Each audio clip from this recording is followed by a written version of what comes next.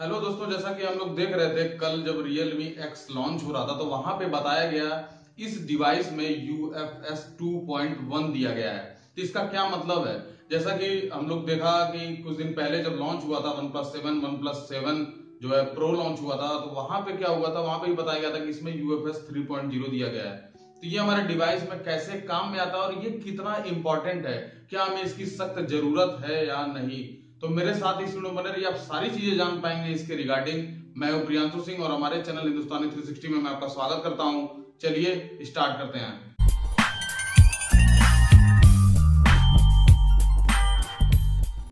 सबसे पहले मैं आपको बता दूँ, हम लोगों ने बहुत सारे स्टोरेज डिवाइसेस देखे। जैसे एच देखा हार्ड डिस्क ड्राइव एसएसडी देखा solid state drive pin drive देखा माइक्रो एस कार्ड देखा। लेकिन ये जो दो स्टोरेज हैं, ये काफ़ी ज़्यादा इंपॉर्टेंट है। अगर मोबाइल के हिसाब से देखा जाए तो मैं बता दूँ E double M C embedded multimedia control जो कि हम लोग 2005, 2006, 2007, 2008, 2009, 2010 तक इस्तेमाल किए। उसके बाद से यूएफएस आया। यूएफएस जो होता है इसका फुल फॉर्म होता है यूनिवर्सल फ्लैश जो स्टोरेज ये काफ़ी ज़्यादा फास्टर होता है compare to E double M C E double M C storage है ये जो है लो बजट वाले फ़ोन में इस्तेमाल किया जाता है। जैसे छह हज़ार, सात हज़ार, आठ हज़ार, दस हज़ार, इस सारे जो फोन्स जो बजट के होते हैं, इसमें इस्तेमाल किया जाता है। उसके बजट जैसे पंद्रह हज़ार, चौदह हज़ार अठारह हज़ार वाले फोन्स में वहाँ पे यूएफएस इस्तेमाल किया जाता है। और फ्लैगशिप में भी जो है यूएफएस इस्तेमाल किया जाता है। तो 2011 में जो ये लॉन्च हुआ U F S one point zero जो कि मैं आपको बता दूँ ई डबल एम सी से कहीं ज़्यादा फास्टर था।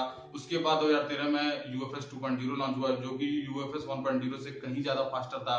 फिर 2015 में लॉन्च हुआ U F S two point zero का अगला version U F S two point one जो कि U F S two point zero से कहीं ज़्यादा फास्टर था। जी हाँ जो Samsung Galaxy S six L G G five S eight और S T C U eleven में ये जो U F S two point one इस्तेमाल किया गया था। उसके बाद 2018 में आया U F S three point zero जबकि हम लोगों ने देखा जो अभी currently OnePlus seven OnePlus seven pro जो इस्तेमाल किया है अब इसमें क्या खासियत होता है यूएफएस में? क्योंकि इसकी जो रीड स्पीड होती है, बहुत ज़्यादा फास्टर होती है। मैं आपको बता दूँ, जो इसकी रीड स्पीड है मैक्सिमम मैं आपको बताऊँ सिंगल लेन की, वो है 11.6 जीबी पर सेकंड अगर विथ टू लेन की बात करूँ तो 23.2 जीबी पर सेकंड की जो है टू लेन की जो है, इसकी स्पीड है। तो आप देख सकते हैं, ये कितना ज़्यादा फास्टर है, बहुत ही ज़्यादा फास्टर है।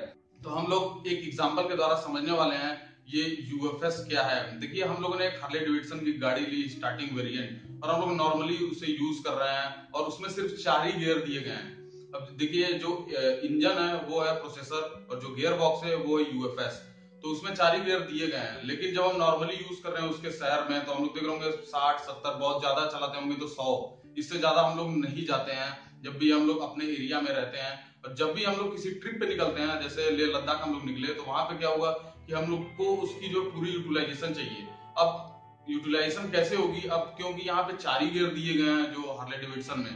तो आपको जो स्पीड है, वो 100 से 120 के ऊपर नहीं जाएगी। आप कितना भी उसके एस्केलेटर को पुश कर लें। अगर वहीं पे मैं बात करता हूँ वहाँ पे फिफ्थ गियर सिक्स गियर दिया गया होता तो शायद आप उसे बूस्ट कर पाते हैं 160, 170, 180 क्योंकि जो सीसी है वो 700 है तो वो ज़ाहिर सी बात है 200, 250 आराम से वो चली जाएगी।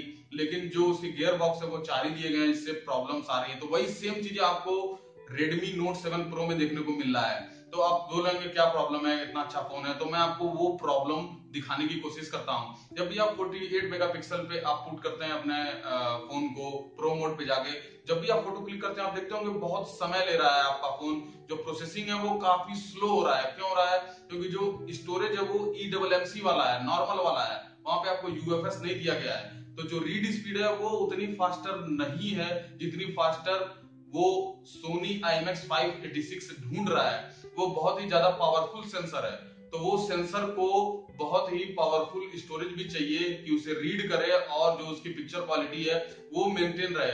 अगर वहीं पे यूएफएस 2.1 होगा तो वहाँ पे उसकी इमेज क्वालिटी भी बेटर निकल के आएगी। जी हाँ तो वही चीज़ है जो यहाँ पे गियर बॉक्स था, वही यूएफएस है। तो यूएफएस की स्टोरेज अगर आप पावरफुल कर देंगे 2.1 कर देंगे 3.0 कर देंगे तो वहाँ पे कहीं ज़्यादा आपको जो है जो फोटोग्राफी वो कहीं ज़्यादा क्लियर निकल जाएगी मैं आपको बता दूँ, कभी भी आप डीएसएलआर परचेस करते होंगे तो आप देखते होंगे आपको क्लास टेन का ही मेमोरी कार्ड बोला जाता है कि आप उसमें पुट करिएगा। नहीं तो आपकी प्रोसेसिंग पावर है, वो कैमरास की खराब हो जाएगी और फ़ोटोज़ भी उतने अच्छे नहीं आएँगे। तो यही वो चीज़ें हैं। हम लोग बात कर लेते हैं यूएफएस 3.0 देखिए यूएफएस 3.0 जो one plus seven seven pro में दिया गया है।